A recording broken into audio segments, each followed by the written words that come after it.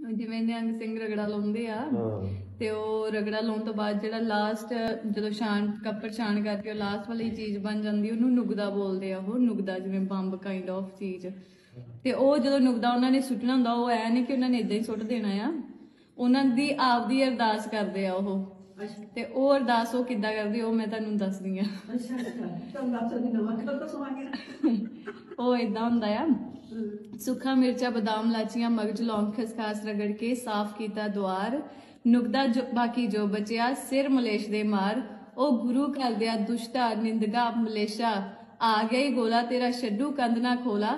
ਤੇਰੀ ਪੱਟੀ ਨਾਸ, ਤੇਰਾ ਖਾਨਾ ਖਰਾਬ, ਤੇਰੇ ਬੂਏ ਗਾੜੀ ਝਾੜ ਸਿੰਘ ਚੜਨਗੇ ਸ਼ਿਕਾਰ, ਦੇਣਗੇ ਤੈਨੂੰ ਮਾਰ। ਉਹ 12 ਕੋ ਦੀ ਜਾੜ ਤੇ 24 ਕੋ ਦਾ ਪੜਾ। ਦਿਨ ਕੱਟ ਲੈ ਅੰਦਰ ਵੜ ਕੇ ਆਜੂਗਾ ਖਾਲਸਾ ਚੜ ਕੇ, ਲੈ ਜੂਗਾ ਤੈਨੂੰ ਫੜ ਕੇ। ਤੂੰ ਕਰਦਾ ਸੁਖੇ ਦੀ ਬਦੀ, ਤੇਰਾ ਪਿਓ ਖੋਤਾ ਤੇ ਮਾਂ ਗਦੀ। ਕੂਕਿਆਂ ਨੂੰ ਕਾਲਾ ਪਾਣੀ ਨੰਬਰਦਾਰਾਂ ਨੂੰ ਹੱਥ ਕੜੀਆਂ ਬਾਬਰ ਨੂੰ ਦੇਸ਼ ਨਿਕਾਲਾ, ਨਿਹੰਗਾ ਸਿੰਘਾਂ ਨੂੰ ਸ਼ਹੀਦੀ ਦੇਗਾ।